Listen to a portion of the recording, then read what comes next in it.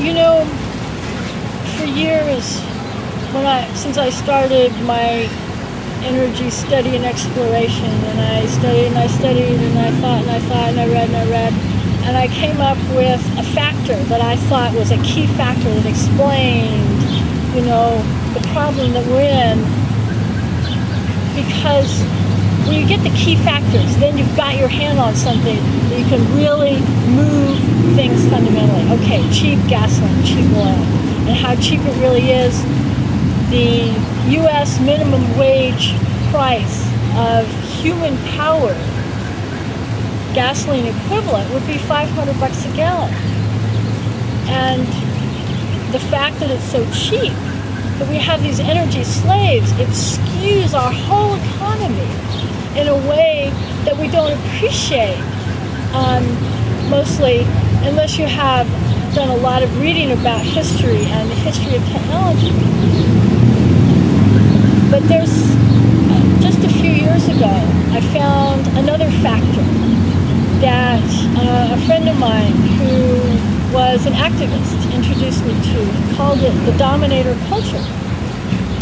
And the dominator culture is the hierarchical, authoritarian, command and control, centralized culture that we are all infected with to some degree or other.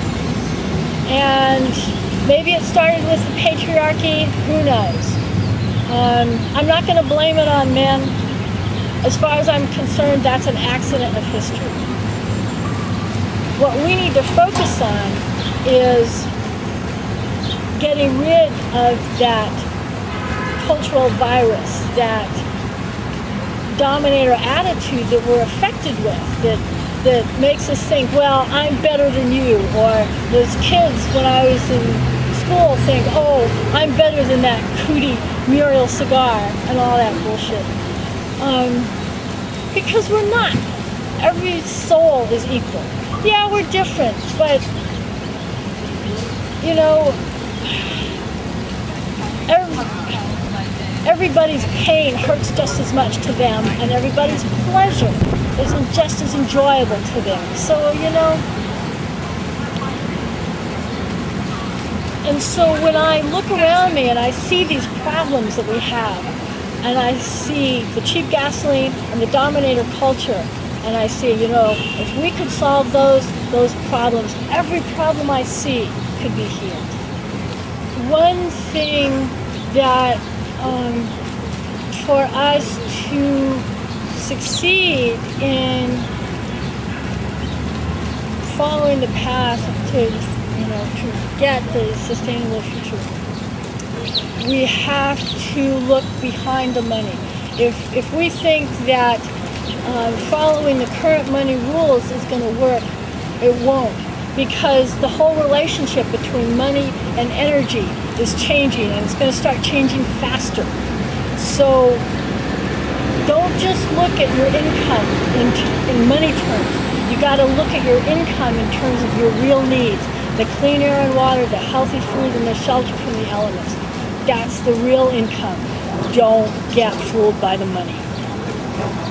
Okay. Actually, wait, I got one last question. Okay. Uh, some people refer to you as the chicken lady because of the debate. How do you feel about that? Um, hey, uh, they're remembering it. They're remembering not just me, but they're remembering the chickens.